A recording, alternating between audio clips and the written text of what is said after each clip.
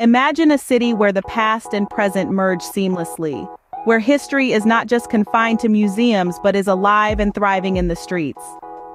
Welcome to Lisbon, Portugal's sun-kissed capital, a city that's home to one of the most charming and distinctive transport systems in the world, its iconic yellow trams.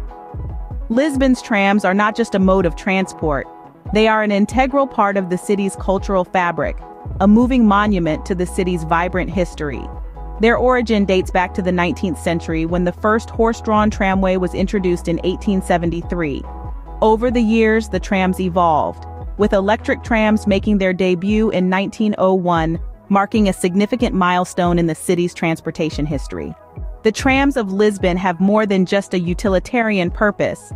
They offer a unique window into the city's soul, as these yellow chariots traverse the narrow, winding streets of Lisbon, they tell a tale of resilience and innovation.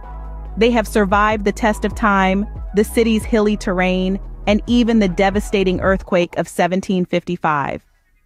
For over a century, these trams have been the lifeline of the city, connecting different neighborhoods, from the high hills of Graça to the bustling downtown district of Baixa.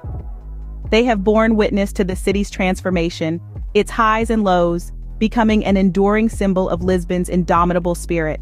The most famous of these trams is the number 28. This tram route is a journey through time, covering many of Lisbon's most historic districts.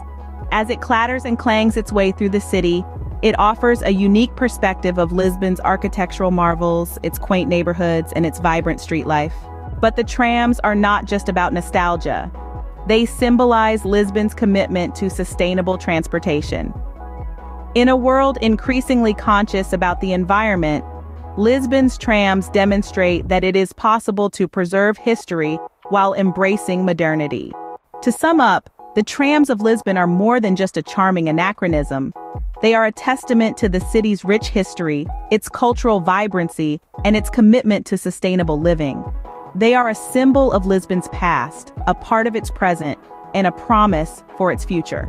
So if you ever find yourself in Lisbon, don't just ride the tram, experience the journey, relish the views, and be a part of the city's ongoing story.